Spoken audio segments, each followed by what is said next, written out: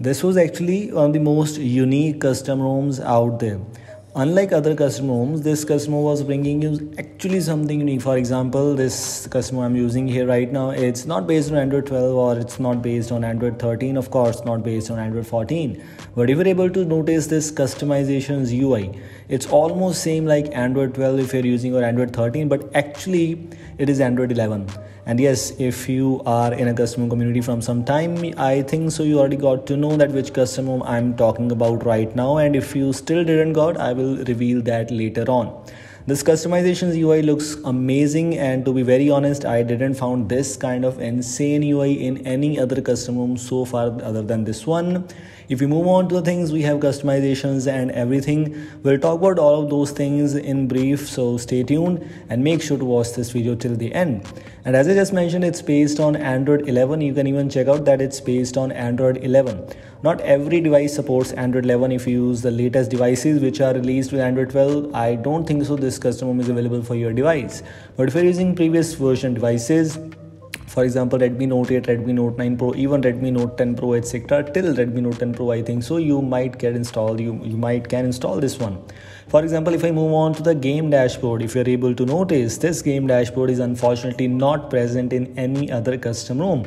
Even I tried Android 12, 13, even 11, this kind of gaming dashboard was not here. And as you can see how the beautiful UI is looking like. Many options are available here. And let me show you if I move on to this calculator app where I had turned on this gaming dashboard, you have these shortcuts, we have screenshot, screen record, and some options like this one. And like this, if you move on to the notification panel, quick settings panel, you will be able to notice this gaming mode. The quick settings panel is also looking amazing. You just noticed at the starting of this video. If I move on to the other options, for example, in display settings or in anywhere, you are able to notice new UI everywhere. The something different, something cool, something unique. Not every custom supports this one. That is why I'm actually loving this. And after trying this custom after a long, long time, I found this is actually unique. Even Android 11 does not support these kind of customizations, but this custom supports them. Clock styles options with previews. I still remember Android 11 times. I tried these things in Havoc OS. I tried these things in some other custom ROMs too. It also has the fonts options for you, fonts customizations where you have these previews available, whichever font you want to apply or not. By the way, this custom is not bringing you many customizations, but only few of them are quite useful actually you can see icon pack options are there too.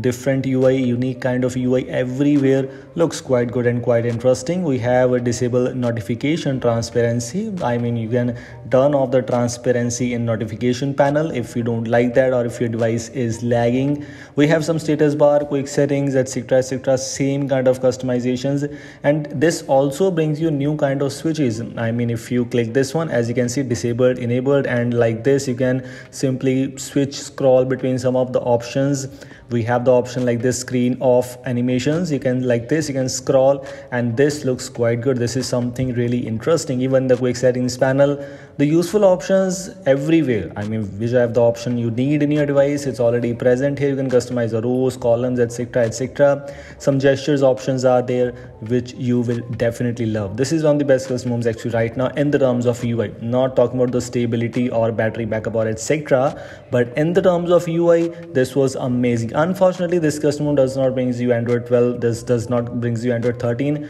i'm not sure about android 14 right now but it's here. And which custom ROM i was talking about? If you already guessed it it's amazing. And if you didn't this is dotOS dotOS version 6.0 was also released based on android 12 i found actually. But unfortunately that was not like that much hyped the same like with android 11 so it was amazing. Uh, if it is available for your device link is available in the description.